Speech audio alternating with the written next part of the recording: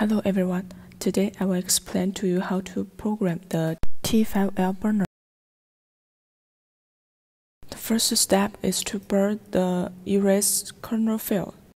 Copy the kernel file to the DWIN_SET folder.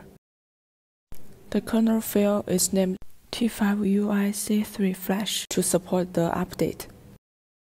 Put the kernel into the DWIN_SET folder and then download it to the screen. This is the PGT05 burner. Insert the SD card and power it on.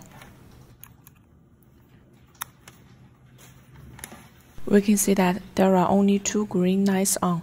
When a red light lights up, it improves that the erasing step has been completed. The next step is to burn the erasing kernel to the screen through PGT05. Power on the screen first.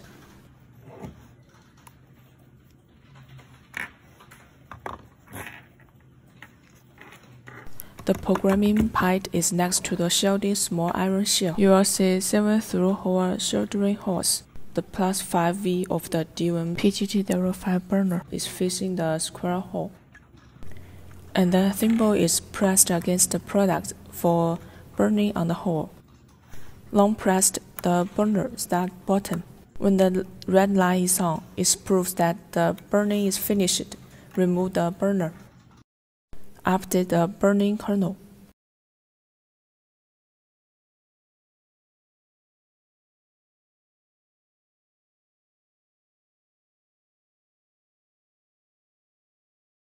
Rename the correct kernel to T5UIC1V10.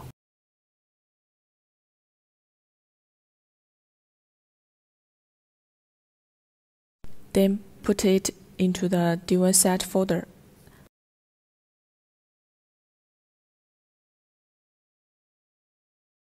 And download it to the screen through the burner.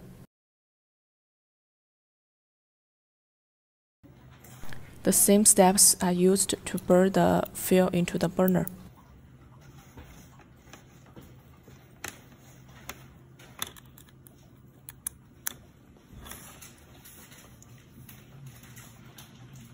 When the red light is on, power it off and unplug the SD card. The symbol is pressed on the burning hole of the product. Now press the start button. The red light is on and the burning is completed. Then copy the correct project to the DWIN_SET folder.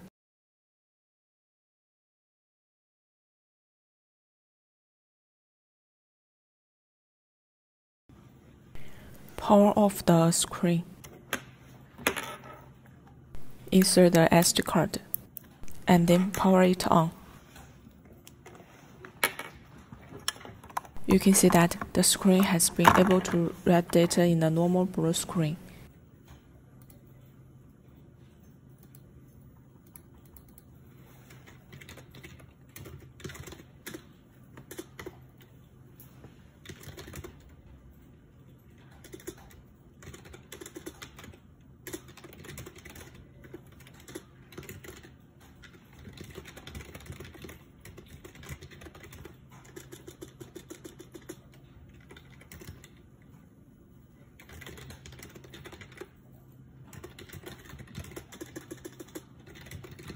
When end is displayed, it proves that the reading is completed, and then power it off and unplug the SD card. Power on again.